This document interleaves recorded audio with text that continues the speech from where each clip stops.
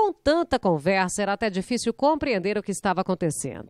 Três ciganos foram encaminhados de Serranópolis para a Delegacia de Polícia Civil em Jataí, depois que foram flagrados em uma briga e estavam dirigindo alcoolizados. Dois deles, Alex Yankovic, 38 anos, e Sirley Yankovic, 27 anos, passaram pelo teste de bafômetro e para ele ficou o índice de 0,60 e para ela 0,77. Atendendo aos solicitantes, locamos até a rua, rua Marciano Onde chegamos ali, lá mais ao meio do quarteirão, parou lá uma, uma montana branca, uma montana branca naquele local.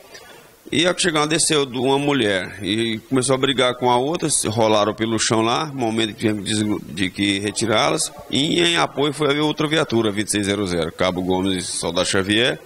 E em seguida veio uma outra caminhonete, uma Frontier Nissan preta, ela veio, o cidadão certamente estava embriagado, estava em zigue-zague essa caminhonete, quase bateu na viatura, na 2600, estava em apoio. Imediatamente nós nos imobilizamos, né? E naquela confusão entre eles ali, que são, parece que são marido, mulher e parentes, que são casados ali, envolveram em vias de fatos ali, uma dessas deu pedrada nos para-brisa, quebraram os para-brisa, amassaram o capu da Montana Branca. Isso lá junto com a polícia? Não, antes um pouquinho no momento lá. E deram, quebraram o para-brisa também da Estrada Preta. Quebraram o para-brisa também da Frontier Nissan.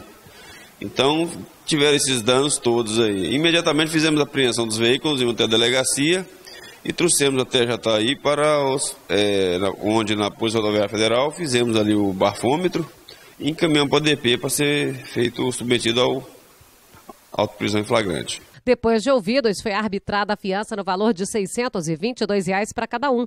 Como alegaram não ter dinheiro para pagar, foram recolhidos para a cadeia pública pelo crime de direção perigosa.